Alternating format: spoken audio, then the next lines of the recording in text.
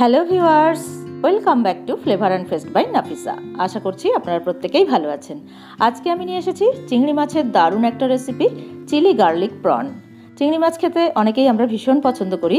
তো সেই চিংড়ি মাছ দিয়ে কীভাবে খুব সহজেই বাড়িতে একদম রেস্টুরেন্টের মতো স্বাদের চিলি গার্লিক প্রন বানিয়ে ফেলতে পারবেন, চলুন দেখে নেওয়া যাক। এটা ফ্রায়েড রাইস, পোলাও, নুডলস সব কিছুর সঙ্গে খেতে দারুণ লাগবে।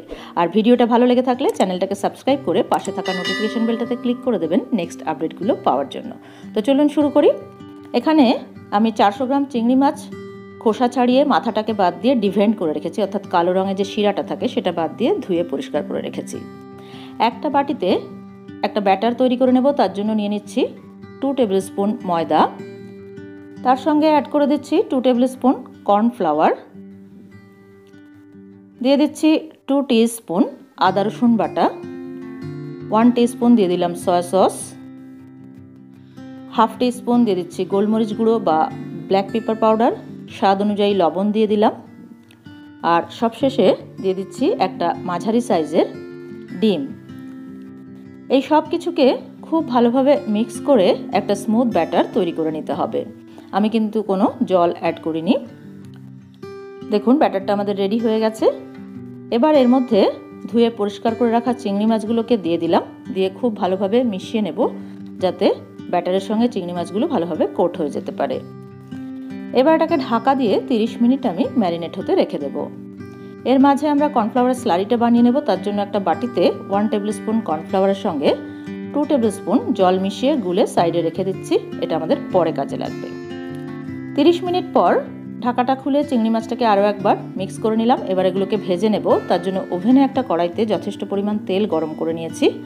ফ্লেমটা মিডিয়ামে আছে, এবার একে একে চিংড়ি মাছগুলোকে এই গরম তেলের মধ্যে আমি দিয়ে দিচ্ছি, একটা ব্যাচে যতটা যায়। একটা পিঠ চার থেকে পাঁচ মিনিট মিডিয়াম ফ্লেমে ভেজে নেব। তারপর একবার করে উল্টে দিচ্ছি। এইভাবে উল্টে পাল্টে যতক্ষণ না একটা গোল্ডেন কালার আসছে, ততক্ষণ ভেজে নিতে হবে। দেখুন, এরকম গোল্ডেন কালার চলে এসেছে। এবার এগুলোকে তেল ঝরিয়ে আমি তুলে নিচ্ছি অন্য একটা পাত্রে। একই রকমভাবে সেকেন্ড ব্যাচে বাকি মাছগুলোকেও ভেজে নেব। এবার একটা কড়াইতে নিয়ে নিয়েছি two tablespoon cooking oil তার সঙ্গে অ্যাড করে দিচ্ছি টু টেবিল স্পুন খুব মিহি করে কুচনো রসুন আর দিয়ে দিচ্ছি ওয়ান টেবিল স্পুন খুব মিহি করে কুচনো আদা। যেহেতু এটা গার্লিক প্রন তাই রসুনের পরিমাণটা একটু বেশিই দিতে হবে। আদা রসুনের কাঁচা গন্ধটা চলে যাওয়া পর্যন্ত একটু ভেজে নিলাম ফ্লেমটা মিডিয়ামে আছে। অ্যাড করে দিচ্ছি টু টেবিল স্পুন একটু ছোট স্কোয়ার করে কাটা পেঁয়াজ। পেঁয়াজটাকে তিরিশ সেকেন্ড মতো নাড়াচাড়া করে নিলাম। তারপর অ্যাড করে দিচ্ছি একটা মাঝারি সাইজের ক্যাপসিকাম কুচি। দিয়ে দিচ্ছি চারটে চেরা কাঁচা লঙ্কা, হাফ টি স্পুন দিয়ে দিলাম গোলমরিচ গুঁড়ো বা ব্ল্যাক পেপার পাউডার এক মিনিট মতোই সব কিছু একটু ভাজা ভাজা করে নিচ্ছি। তারপরের সঙ্গে অ্যাড করে দিলাম ওয়ান স্পুন সয়া সস আর one tablespoon red chilli sauce খুব ভালোভাবে মিক্স করে নিচ্ছি। এরপর এর মধ্যে আমি অ্যাড করে দিচ্ছি ওয়ান ফোর্থ কাপ জল। জলটা দিয়ে দু মিনিট মশলাটাকে কষিয়ে নেব। দু মিনিট পর এর মধ্যে আগে থেকে তৈরি করে রাখা কর্নফ্লাওয়ার স্লারিটা আমি অ্যাড করে দিচ্ছি। তার আগে একটুখানি মিক্স করে নিতে হবে, কারণ কর্নফ্লাওয়ার তলায় বসে যায়। খুব ভালোভাবে নাড়াচাড়া করে নিয়ে কর্নফ্লাওয়ারের স্লারি অ্যাড করার সাথে সাথেই কিন্তু ভেজে রাখা চিংড়ি মাছগুলোকে দিয়ে দিতে হবে। এবার এই সসের সঙ্গে খুব ভালোভাবে চিংড়ি মাছগুলোকে মিশিয়ে নিলাম। স্বাদ অনুযায়ী লবণ দিয়ে দিলাম।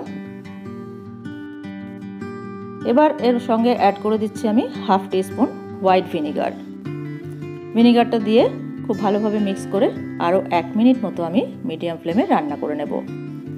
এক মিনিট পর ঢাকা দিয়ে গ্যাসের ফ্লেমটাকে অফ করে দিয়ে পাঁচ মিনিট রেস্টে রেখে দেবো। পাঁচ মিনিট পর একদম গরম গরম সার্ভ করে দিচ্ছি। দেখুন রেডি হয়ে গেল দারুণ স্বাদের চিলি গার্লিক প্রন আপনারাও বাড়িতে ট্রাই করুন। কেমন হলো কমেন্ট করে আমাকে জানাতে ভুলবেন না। আর আজকের ভিডিওটা ভালো লেগে থাকলে প্লিজ একটা লাইক করবেন ফ্রেন্ডস আর রিলেটিভদের মধ্যে শেয়ার করবেন আর চ্যানেলটাকে প্লিজ সাবস্ক্রাইব করে দেবেন। Thank you so much for watching সবাই খুব ভালো থাকবেন, সুস্থ থাকবেন।